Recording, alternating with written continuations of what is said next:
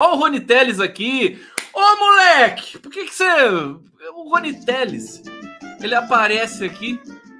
Precisa fazer uma live comigo, ô Praga.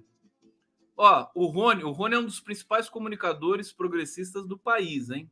Tem um canal com um milhão de inscritos lá. Rony Teles, e hoje nós sendo acusados de fake news, numa, fake news numa matéria da Folha cheia de fake news. O Rony, eu li a matéria, tá aqui, eu vou comentar hoje.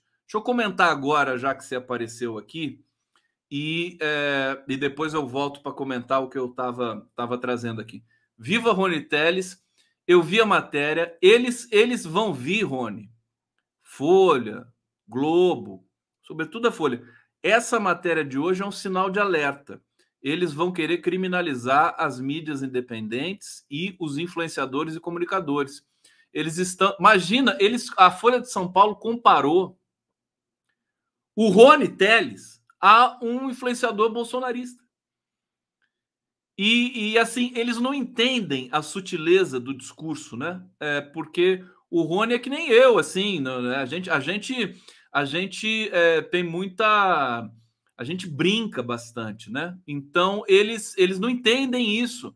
Eles literalizam e depois vêm com acusações. Uma coisa muito feia, muito feia que a Folha fez. Acho que ela merece uma resposta.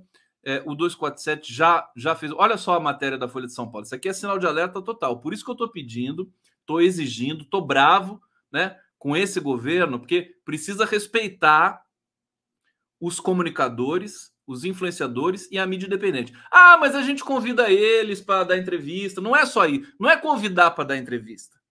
Né? E não é fazer publicidade também. É respeitar respeitar, é convidar para cerimônia, entendeu? Ah, vamos ter aqui uma cerimônia, não sei das quantas. Ah, o Lula vai para a China. Ah, convida, convida um influenciador ou um jornalista da mídia independente. Vamos, a gente quer o mesmo status, entendeu? Até porque é aquilo que eu falei aqui no começo da live. Quando a mídia corporativa é, é, é, baniu o PT e a esquerda das suas matérias, entrevistas, né?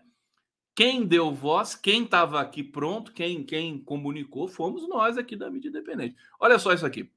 Grupo de, grupo de influenciadores pró-Lula repete tática bolsonarista nas redes. Ô, Rony, deixa eu falar uma coisa para você. Você fica maior com essa matéria aqui, viu?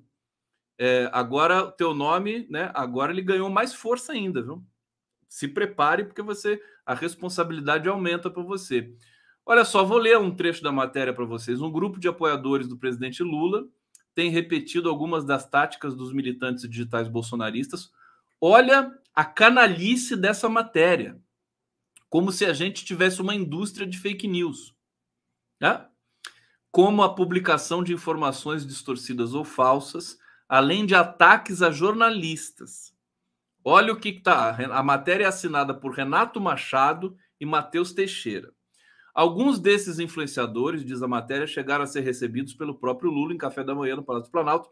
Eles estão utilizando esses convites que tiveram, o Rony Teles foi lá e tudo mais. Só eu que não convido, mas não precisa convidar, não, que eu não vou. É, né? eu, sou, eu sou marrento, né? agora não adianta mais, agora não vou mais.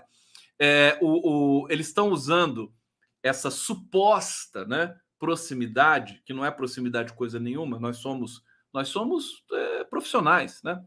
É, para dizer que existe uma é, uma espécie de conluio, né? Uma coisa casada, né? Como tinha no plano bolsonarista. É isso aí.